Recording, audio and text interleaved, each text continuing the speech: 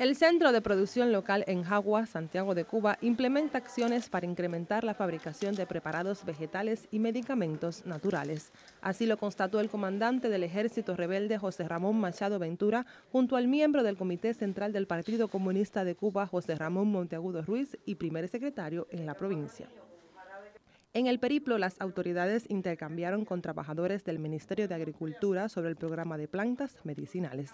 Durante la cita, los especialistas explicaron la importancia del aprovechamiento de los recursos endógenos del territorio para impulsar los planes productivos. En el centro de alevinaje de Sevilla del municipio de Guamá culminó el recorrido, lugar donde los dirigentes conocieron las acciones que se realizan para revitalizar este espacio.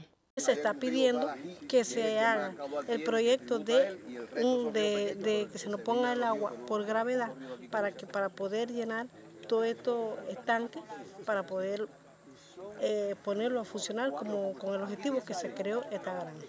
Impulsar el desarrollo local para mejorar la calidad de vida de los santiagueros resulta imprescindible para la construcción de una sociedad próspera y sostenible. Emilio Urquiza y Jennifer Sebreco Cuenca, Canal Cubano de Noticias.